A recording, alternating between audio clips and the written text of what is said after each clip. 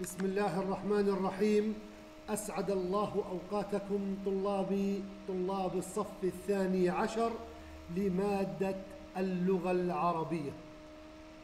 ها نحن طلابي نلتقي معكم في رحاب اللغة العربية وسيكون اللقاء مع الوحدة الأولى والمعنونة بعنوان سورة آل عمران مريم مريم ابنة عمران.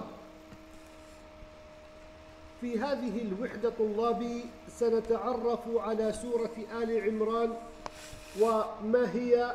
فنقول بأن سورة آل عمران هي سورة مدنية بينت الآيات الكريمة التي بين أيدينا منها علو درجات الرسل وقصة مولد مريم ابنة عمران وكفالة زكريا لها وقصة مولد يحيى عليهم السلام وبيان صفاته ثم اصطفاء مريم عليها السلام وتفضيلها على نساء العالمين.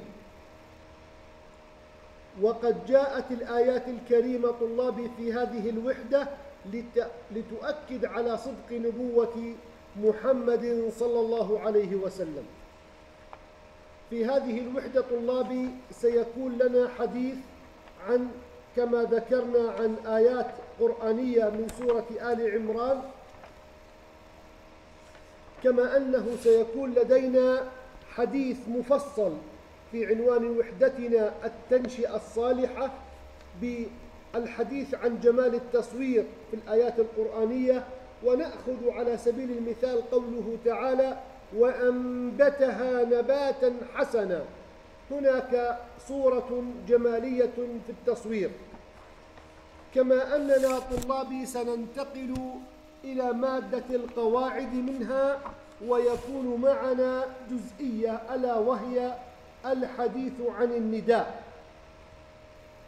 وفي الحديث عن النداء طلابي سنتعرف على مفهوم النداء على أسلوب النداء. سنحدد عناصر النداء من حرف النداء ومن أداة النداء ومن المنادى من أحكام المنادى وغيره.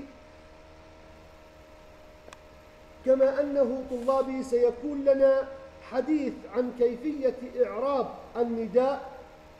وقبل ذلك سيكون لنا حديث عن تعريفه وهو كما موجود أمامك هو طلب شخص قصد الانتباه أو الإقبال على من يناديه ويتم بواسطة حروف لحروف النداء مثل يا هذه تكون للمنادى. أيضا طلابي سيكون لنا حديث عن اسم الفاعل وهو أيضا من مادة القواعد المرفقة معنا في الكتاب لهذه الوحدة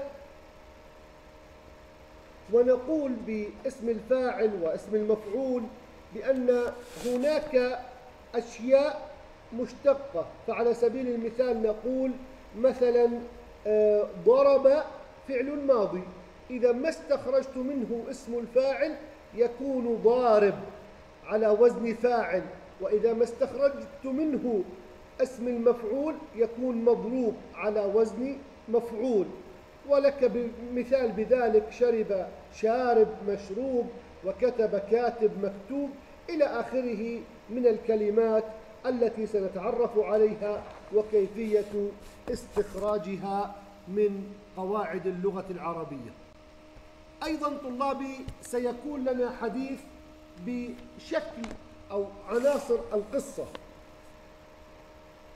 نقول بأن القصة طلابي هي فن أدبي يتناول حادثة أو مجموعة حوادث تتعلق بشخصية معينة أو مجموعة من الشخصيات في بيئة زمنية أو مكانية تنتهي إلى غاية أو هدف بنيت من أجله القصة بأسلوب أدبي ممتع. لذلك تهدف القصة طلابي إلى التأثير في القارئ. وإمتاعه وتسليته عن طريق التلميح والرمز ومن عناصرها الحدث. والحدث هنا يمثل مجموعة من الوقائع الجزئية المترابطة في القصة وهي منظمة على نحو خاص. أيضا من من عناصرها الحبكة أو العقدة. الحبكة التي تبدأ غامضة ثم تتكشف تدريجيا وهي قمة الحدث في القصة. وهناك حديث عن الصراعان الداخلي والخارجي وهناك حديث عن الحوار إلى جانب الزمان والمكان في الحديث عن القصة.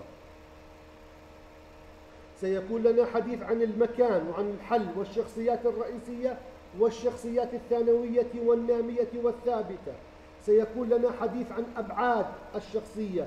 تتمثل في البعد الخارجي الذي يمثل المظهر العام والسلوك والبعد الداخلي في القصة والذي يشمل الأحداث النفسية والفكرية والسلوك الناتج عنها.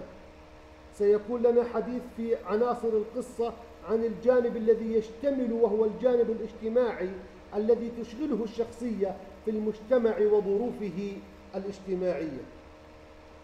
في هذا الكتاب طلابي وفي هذه الوحدة سنلتقي مع عنوان قصة بعنوان حفظ الأمانة وكيفية المحافظة على الأمانة. سيكون لنا لقاء طلابي بحول الله عز وجل. هذا طلابي مجمل الحديث عن الوحدة الأولى من كتاب اللغة العربية للصف الثاني عشر. قلنا نلخص بشكل سريع. سيكون لنا حديث عن نص الاستماع. سيكون لنا حديث عن آيات من سورة آل عمران. سيكون لنا حديث عن آيات من سورة آل عمران عن موضوعاتها ماذا تناقش. سيكون لنا حديث عن قواعد اللغة العربية مقتطفات من النداء للحديث عنه اسم الفاعل واسم المفعول. وعطفا على الحديث عن الأدب في القصة وعناصرها وما إلى ذلك.